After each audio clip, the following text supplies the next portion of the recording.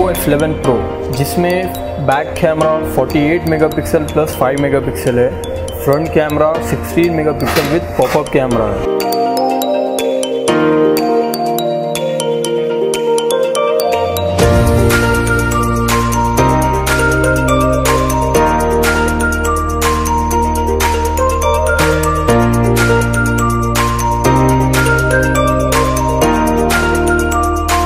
Four thousand M H का battery pickup रहेगा तो वॉक चार्जर के साथ मिलेगा जिसमें आप फाइव मिनट चार्ज करने पर टू आवर्स तक टॉक कर सकते हो। आप पाँच मिनट चार्ज करे बाद दो घंटे तक बात कर सकते हो। और मंथली सॉफ्टवेयर अपडेट्स आते रहेंगे। अभी एंड्रॉयड नाइन चल रहा है उसके आगे का जो भी रहेगा, उस पर भी अपडेट आएगा।